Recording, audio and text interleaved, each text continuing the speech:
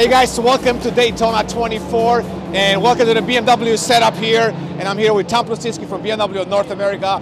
You've seen him before. He's the expert when it comes to racing cars, and we have a brand new one today. A so brand new one. Maybe let's start with the name, Tom. What's Okay. the name of this new car? All right, the name of the new car is the BMW M Hybrid V8. Okay. And it's a GTP class car. Okay. For IMSA. What's the LMDH Yes. kind of thing? A lot of people have been calling these LMDH cars, Okay. and they are LMDH. So the LMDH is, is the is the rule set that these cars are built to. Sure. Um, and and it's like a GT3 as an example. Okay. So GT3 is is built to a set of rules, and then you can race in various series around the world in the GTD class. In the GT3 classes, here we call it a GTD, right? Okay. So here, this is called a GTP class, but it is built on an LMDH rule set. All right, understood. Very complicated. A little bit. So how does it tie into the history of BMW Motorsport? This particular one. This particular one, it, it does it ties into it because generation, generationally we have we have had a few GTPs. We were actually the first manufacturer to make a GTP for this series here um, back in 1981. It was called the M1C. It was a March chassis with a BMW M1 engine. We came back to GTP in uh, 1986 with the BMW GTP, very Yep. simple name, and now we're we're here again uh, with the with the M Hybrid uh, V8. So this is quite unique, right? I mean, It's quite first unique. hybrid, electrified Yep. BMW car, basically. There's a reason why we did this now. Okay. Um, the LMDH rule set is is a power hybrids setup, and it shows electrification for performance cars. Okay. And as we have heard, BMW M will electrify the range over time. The uh, the BMW XM is one of the first of those, right? It's a it's a V8 power with a with a plug-in hybrid. Sure. This is a very similar concept, and it's a good way to get our fans, our M customers, to, to think about the future. Gotcha. And uh, and besides that, it looks really good. It looks cool. Yeah. Okay, so should we get close to the car and kind of tell Yes. us about the tech? Because I think that's the most You've talked part. about design with Michael Exactly. Scully, so I don't need to touch any Nope. of that. But Maybe yeah, we, let's move Alright, into the okay, garage sounds here. good. I'll follow you there. And feel free to point out anything that's interesting and cool. Sure, we'll we'll start right here at the front, I think. And actually, if we can move the camera underneath, you'll see the downforce generating underfloor of this. So part of the L- LMDH rule set is that you have to choose one of four chassis. Ours is a Dallara. Okay. Uh, the other manufacturers can use theirs. It just so happens that Cadillac uses a Dallara chassis as well. Now that doesn't mean that the Cadillac is the same as ours with different livery, but far from it. Okay. So the underfloor is fixed. That is Dallara. Okay. Um, but suspension, engine, uh, the upper bodywork is all BMW specific. So we have the ability to customize that basic Dallara tub Sure. to our needs. Okay. And you've seen from the bodywork that it is very uniquely BMW. Yeah. And conversely, our competitor right next door here has a very different has their their design on there. So we It won't look at it, yeah. but yeah, Yeah, but it looks know, different, yeah. it It looks different, yeah. um, but let's look. I mean, it is a really beautiful piece of kit.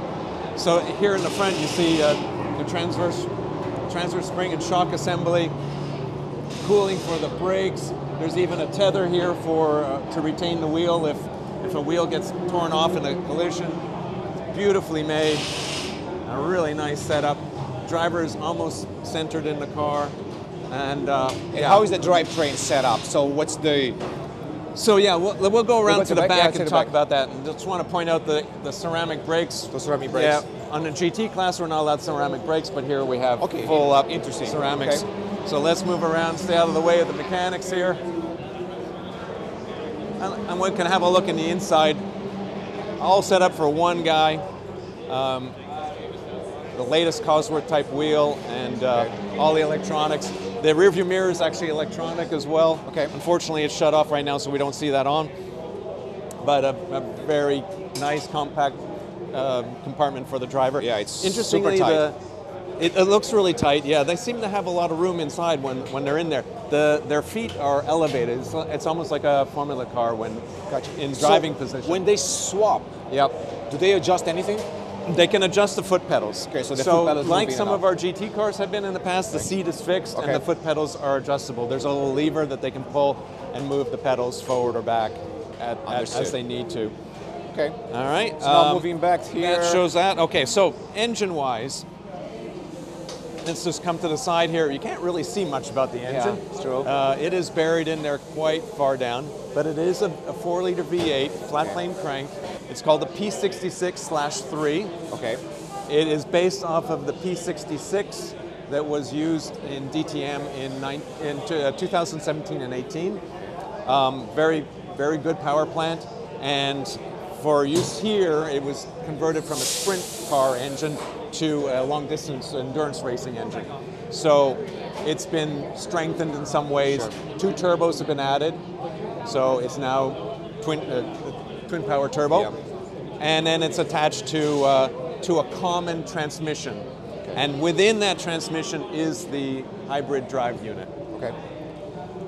So as far as the electrification part of it, are there any rules in the class that you have to run electric at some point, or like No. So how- how uh, does it's it quite open. So Okay. the the way it's set up, so it has a has a, a motor unit in the bell housing. Okay. There is a battery pack under the passenger side, Sure. roughly. And we can use that energy whenever we want. So the energy is generated and stored by uh, regenerative braking. the brake? Okay. And we can use that energy when we want.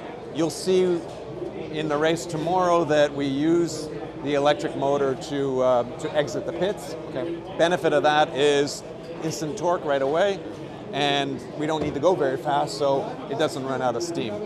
We're, the rules for the power output of the, of the car are very strict. It's 500 kilowatts maximum. Okay. And you can achieve that 500 kilowatts however you like. So it can either be full ice mode, Yeah. and, and this power plant is rated to, to 500 kilowatts, or it can be a combination of, uh, of the ice motor plus the hybrid. And the hybrid is allowed to be 30 kilowatts max. Gotcha. So it can be so if you put them together, 500 max, okay?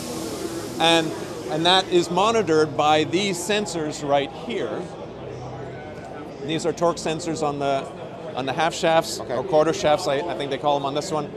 And IMSA and the team knows exactly how much output there is at any one time. Gotcha.